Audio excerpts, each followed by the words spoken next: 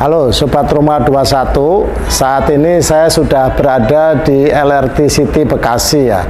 Ini saya sekarang berada di kantor marketing khusus untuk agent nih.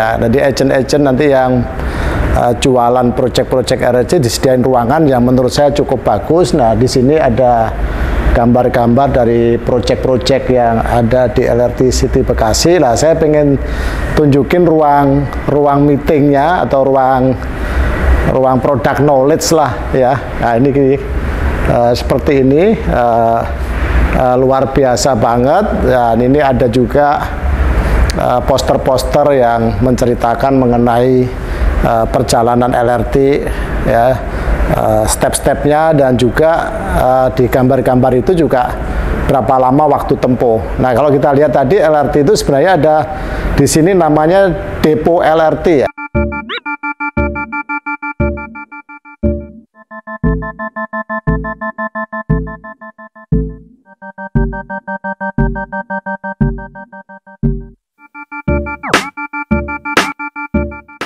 Pusatnya LRT nanti di sini.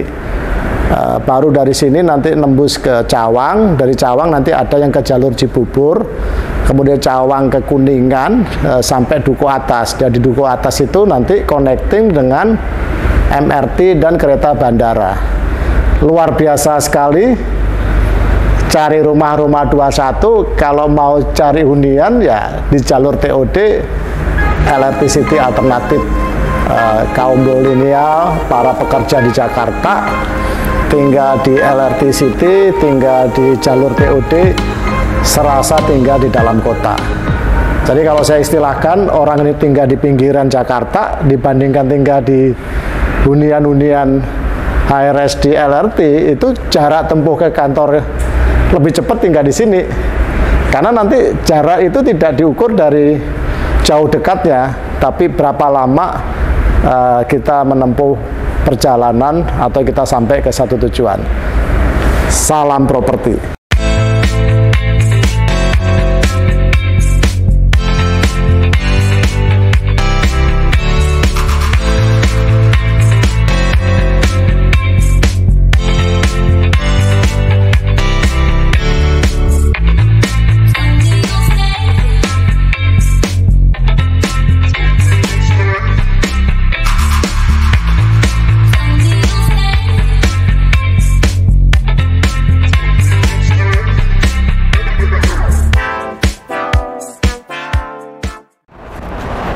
Sobat rumah 21, kita akan bawa ke dalam stasiun LRT Bekasi.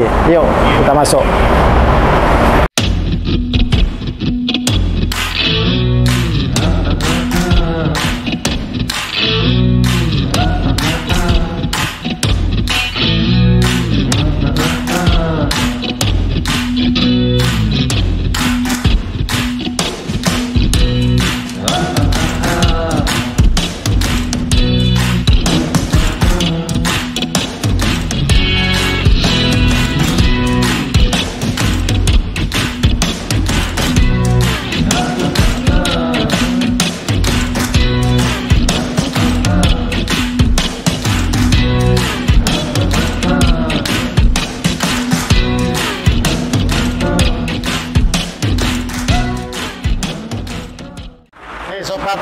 21 ini kita jalur menuju ke kereta api ya itu ada peron, ada ke duku atas nah kelihatannya sudah uh, infrastruktur untuk LRT City ini sudah sudah jadi ya kita kayaknya sudah siap nih ya sebenarnya ya Untuk di operasionalnya kita bisa lihat uh, stasiunnya. Ayo kita lagi sambil jalan. Nah, kita lihat coba di sana. Itu apa? Mesin apa ini sebenarnya? Jadi ini untuk area Hmm. kalau mau mengakses ke LRT sama kayak naik busway atau komuter lain, kita harus pakai tap. Oh, kayak MRT itu ya? Betul sekali. MRT. Jadi next time-nya tidak lagi menggunakan uang cash. Wow. Jadi benar-benar pakai uh, uang digital sekarang. Iya, iya, iya, iya. Pakai pakai. sendiri punya area toilet. Tadi kita coba lihat ke area toilet ya.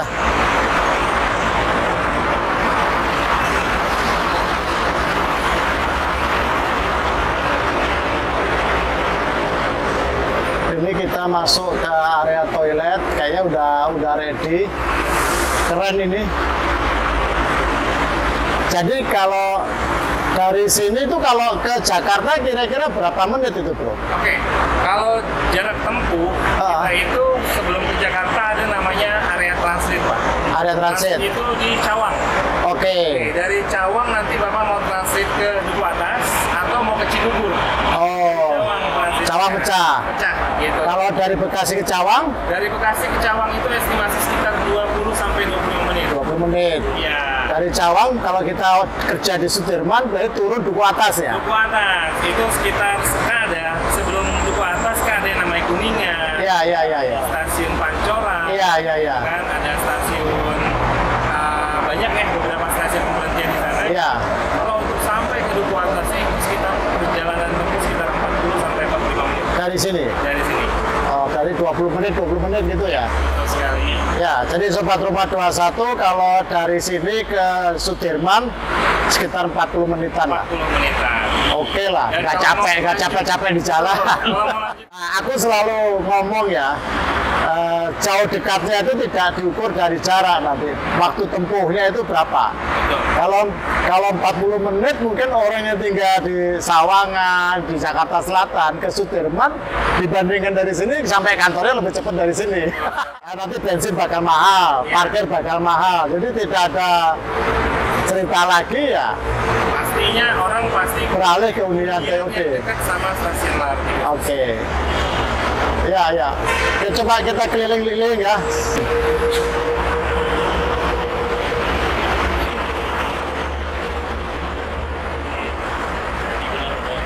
Iya. Cukup lah. Ini kayak MRT kan kanan kiri ya. MRT kanan kiri. Oh, ini ada Jatimulya Sawang Cawang itu. Jadi berita macet, keretanya tinggal kereta, apa informasi Oh, ada dari situ ya informasinya ya. Oke oke. Ini udah mirip-mirip MRT ini modelnya, hampir sama. Ini aku mau nanya ini, Iya. ka- kalau di LRT eh, Bekasi ini nanti kan akan dibangun apartemen-apartemen ya. Oke. Ya bisa diceritakan konsepnya apartemen ini seperti apa, luasannya berapa ini? Dari kita sendiri di LRT City Bekasi ini ada terdiri dari dua proyek, Pak. Oke. Proyek pertama yang sudah ready itu namanya Aston Green. Western Green itu yang Iya. sudah jadi ya? Sudah ready, Pak.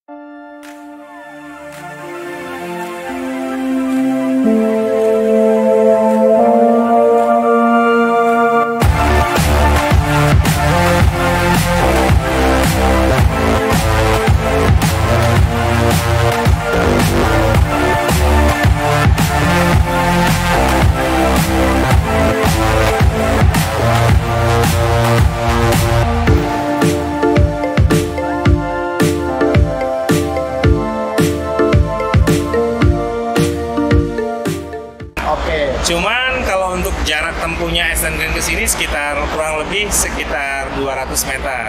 jalan kaki. Jalan bisa. kaki. Tadi kita juga jalan kaki. sih, Betul. Satu ya. Dan Ya. satu lagi proyek yang kedua itu Green Avenues. Green Pro- Avenue. Proyeknya pas di depan stasiun kita langsung. Cuman ini masih ini persis ya. Betul. Ini masih inden, akan serah terima di 2024. Oke. Terus untuk tipe-tipenya Bapak bertanya tadi, kita ada tiga tipe di sini. Ada tiga tipe. Tipe studio, Oke. one bedroom, dan two bedroom. Oh, Dari tiga, ya? tiga Ada tipe, studio, one betul. bedroom, two bedroom, three bedroom. Enggak, kita Two ada, ada? studio, Studio, one bedroom, One bedroom. dan dua kamar. oh dua kamar. Iya, studio satu kamar dan dua kamar. Oke. Hanya tiga tipe. Kelebihannya di sini, biasanya kan apartemen tidak punya LRT. Iya, yang iya, iya. kita iya. pengen usung di sini apartemen satu-satunya yang punya stasiun LRT yaitu LRT City Oke. berkonsep TOD Ya, Transit ya, ya. Oriented Oriented Development. Development. Jadi ke mana-mana tinggal naik LRT, semua kebutuhan ke satu lagi tambahan. Setiap apartemen di bawahnya kita ada yang namanya mall.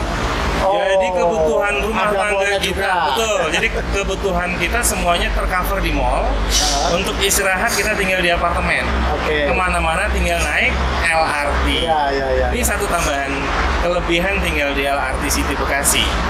LRT City Bekasi ini konsepnya bagus. Yang kedua, kereta pertama dan terakhir. Karena deponya Oh. LRT ada di sini, Pak. Istilahnya depo LRT ya? Iya, jadi kereta pertama berhenti dan kereta terakhir berhenti di sini. Oke. Semua kereta itu uh, Berapa menit? Berapa menitnya Menit itu sekitar kita ya. 2 sampai 3 menit ada terus. Oh, tiap tiga menitan kalau jam Betul, maksimal ya? 5 Iya. menit itu Iya, iya. ada terus keretanya. Wow. Enak banget. Wow. Yang paling Udah kayak naik eskavator ya. Betul. Bagi teman-teman yang ingin memiliki hunian di sini, kelebihan lagi masyarakat harus mengetahui jalur LRT ke mana saja. Ya. Jalur LRT itu jaraknya dari sini ke Jakarta itu kalau untuk hitungan menit sekitar 40 sampai 45 menit. Cukup singkat. Kita Yang tidak saya itu lihat handphone tahu-tahu udah nyampe. Betul. Duduk manis nyampe lokasi, mau itu Oke. kantor, sekolahan dan lain-lain. Dan untuk aksesnya ya, dari Bekasi kalau mau ke Jakarta ada yang namanya transit itu di Cawang. Oke. Jadi dari Bekasi ke Cawang, dari Cawang kita mau ke mana nih? Ada dua sesi. Oke. Sesi yang pertama itu ada yang ke Cibubur, Oke. ada yang kedua ke Duku Atas. Ke atas, oke. Jadi untuk transit LRT itu ada di Cawang. Oh. Nah, di sana transit LRT. Persimpangannya ya? Betul. Sebelum stasiun Cawang ada namanya stasiun Halim. Halim. Stasiun Halim itu terkoneksi langsung sama kereta cepat Jakarta Bandung. Jarak tempuh ke Bandung biasanya sampai 2 jam. Dengan kereta cepat hanya 45 menit. Wow. Jadi kalau dari sini mau ke, Ban- ke Bandung cepet banget ya, 20 menit ke Halim, dari Halim ke Bandung 45 menit. Betul. Dan kelebihannya lagi nih, selain ada kereta cepat Jakarta Bandung dari stasiun Halim, ada lagi yang namanya Bandara Soekarno-Hatta. Bandara Halim, Pak. Oh, Bandara Halim. Iya, itu kan bisa untuk rute-rute domestik. Iya, iya, iya. Kalau misalnya bapak sama ibu mau kereta api uh, langsung ke bandara, itu ada naiknya dari stasiun Duku Atas. Bro, tadi itu kan menarik sekali ya. Iya. Dari jarak dari ini. Nah, kalau sobat rumah 21 tertarik beli ini ada promo apa aja nih? Oke. kita langsung ke promo. Biasanya kita sebelum ngomongin promo mundur sedikit boleh ya Pak? Boleh, boleh, boleh, boleh. Apartemen kan banyak ya Pak ya? Iya. Jakarta, Bogor, Tangerang, Bekasi. Mereka apartemen konsepnya cuma apartemen di bawah mall udah biasa Pak. Ya, Apartemen di depannya ada busway sudah biasa. sudah biasa. Apartemen yang punya LRT cuman ada di kita. Oh, iya. cuman ada di LRT City. Ya, dan ini nyatu ya katanya. Satu terkoneksi langsung itu Iya. premium pak. Jadi kalau dibilang harga kita kita apartemen premium tidak bisa disamakan dengan apartemen lain. Saya harus sampaikan itu. Jadi nggak bisa dibandingkan ya? Tidak bisa, karena apartemen lain tidak punya LRT. Iya, iya, iya. LRT. Pembelian rumah, pembelian apartemen itu pakai DP pak. Ya. Kita DP-nya kita cover, kita diskon. Oh, subsidi DP. Subsidi di DP. Jadi maksimal subsidi DP itu sekitar 5%. Oke. Jadi konsumen hanya cukup bayar 10 juta saja. Oke. Sudah bisa memiliki hunian di sini, Pak. Apartemen. Jadi DP-nya disubsidi 5%. Betul, sekali maksimal. Ya, Jadi maksimal. bayar hanya booking fee 10 juta. Booking fee 10 juta. Jadi 10 juta sudah bisa dapat hunian di LRT City. Integrasi sama LRT City. LRT City ada fasilitas mall. Fasilitas mall untuk kebutuhan Dan kalau mau ke mana-mana udah Tinggal tinggal naik kereta LRT aja. Wow. Cukup Thank you bro. Oke. Luar biasa. Sobat rumah 21 hanya dengan 10 juta bisa dapat hunian apartemen. Katanya hanya satu-satunya ini karena ada LRT. Jadi tidak bisa dibandingkan dengan Apartemen apartemen lain. Jarak tempuh dari sini sampai duku atas kurang lebih 40 menit. Luar biasa. Ya, masyarakat perkotaan Jabodetabek atau Jakarta ya cepat lambat nanti LRT operasi pasti akan menyerang apartemen LRT situ. Salam properti. Salam. Bro.